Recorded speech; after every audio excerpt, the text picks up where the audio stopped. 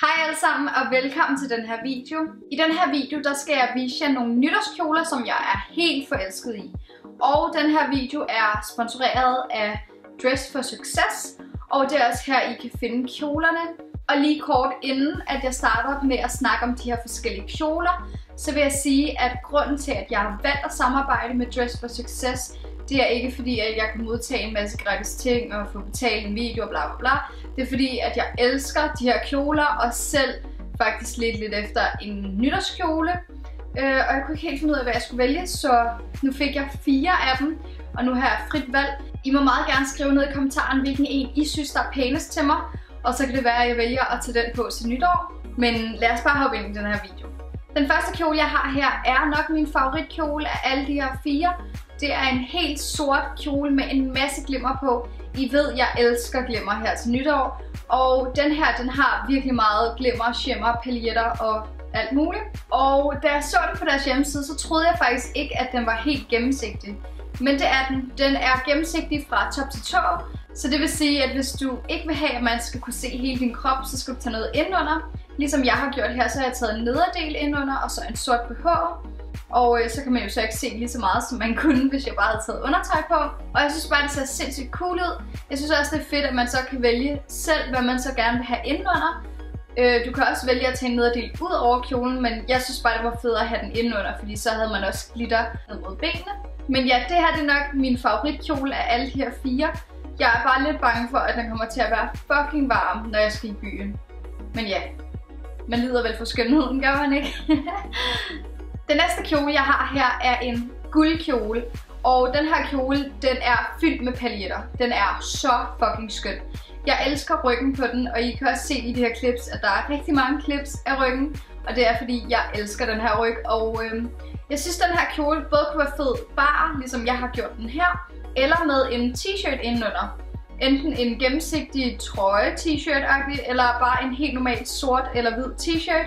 Og det er også skidesmart, hvis man synes, den er lidt for bar, og man er lidt for bange for, at man kan se lidt for meget. Så kan man jo bare tage en uh, t-shirt indenunder, og så er man meget mere sikker med sit outfit. Og den næste kjole, jeg har her, kunne jeg desværre ikke passe. Jeg har fået alle de her kjoler i en størrelse small.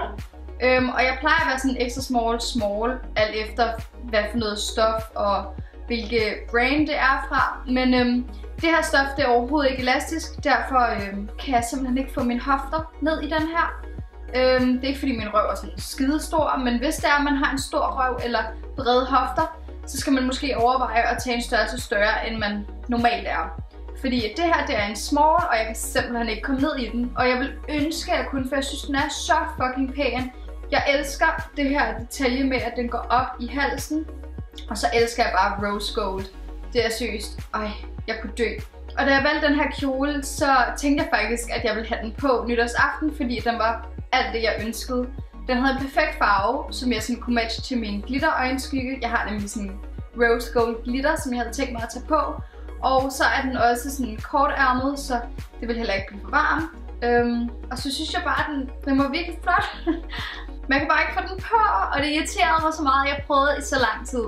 Men i hvert fald, så skal I huske, at I skal købe den her i en lidt større størrelse, hvis det er, I gerne vil have den. Og den sidste kjole, jeg har at snakke om her i dag, det er den kjole, jeg faktisk har på lige nu. Og den her kjole var seriøst mit udgangspunkt ved det her samarbejde. Da jeg sad og skrev med virksomheder, så skrev jeg, at jeg ville have den her kjole. Altså, jeg skulle bare have den, fordi jeg havde set Irina have den på, og jeg har set en masse andre have den her på, og jeg synes bare, den så så fed ud. Den har en bar ryg, som er en virkelig fed detalje, men det er overhovedet ikke grunden til, at jeg elsker den her kjole. Grunden til, at jeg elsker den, det er, fordi den er sort med en masse gulddetaljer på. Og gulddetaljer, det er altså lige mig. Det er altså lige mig. Jeg elsker guld. Og så elsker jeg også bare den måde, som den her kjole sidder på kroppen. Den sidder sådan rigtig tæt til, og så elsker jeg den lange ærmer og langt op i halsen. Det synes jeg bare ser rigtig sofistikeret, men stadig sexet ud. Jeg synes i hvert fald, at den her kjole er så fucking smuk. I hvert fald så håber jeg, at I fik noget inspiration til, hvad I skal have på til nytårsaften. Og hvis I ved det, så må I meget gerne skrive det ned i kommentaren. Og husk at skrive, hvad I synes, der var pænest til mig. Derudover så synes jeg også, at I skal gå ind og følge mig på Snapchat og Instagram.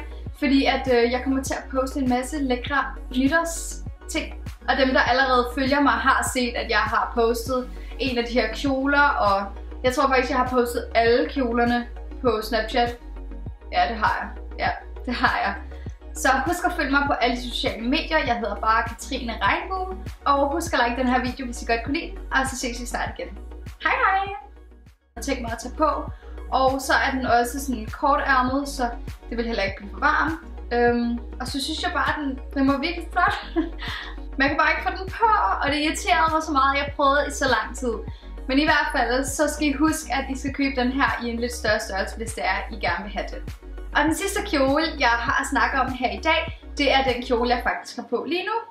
Og den her kjole var seriøst mit udgangspunkt ved det her samarbejde.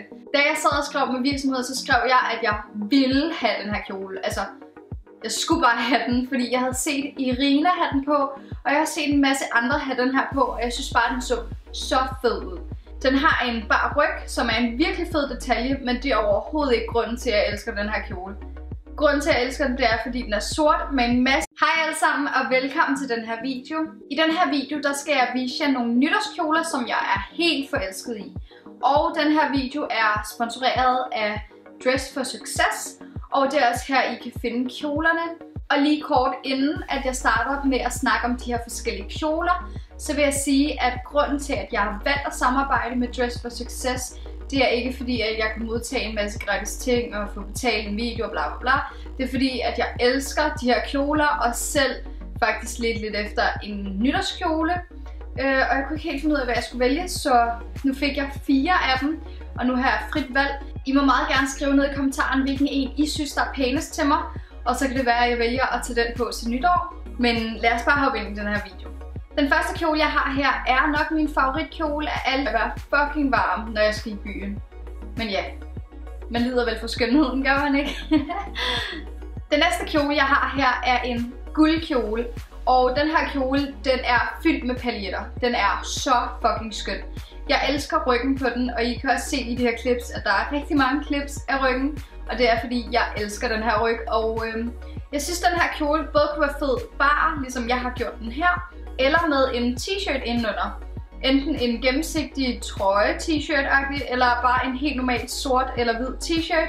Og det er også skidesmart, hvis man synes, den er lidt for bar, og man er lidt for bange for, at man kan se lidt for meget. Så kan man jo bare tage en uh, t-shirt indenunder, og så er man meget mere sikker med sit outfit. Og den næste kjole, jeg har her, kunne jeg desværre ikke passe.